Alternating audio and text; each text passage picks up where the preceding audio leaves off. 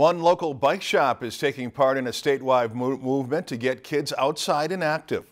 Tour Rite in Little Falls is collecting old child and adult sized bicycles that will then be refurbished and given away to kids all across the state. The shop hopes to keep old bike parts out of the landfill and instead reuse them to keep kids active.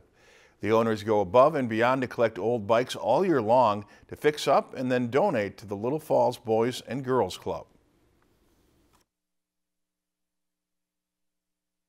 It's important to get the kids to exercise and out of in front of a screen. That's um, that's part of why I like to ride a bike and get kids on a bike. It's good for your mental health. It's good for your physical health. Um, it's good all the way around riding the bike for people of all ages.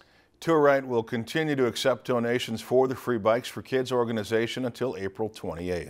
If you enjoyed this segment of Lakeland News, please consider making a tax-deductible contribution to Lakeland PBS.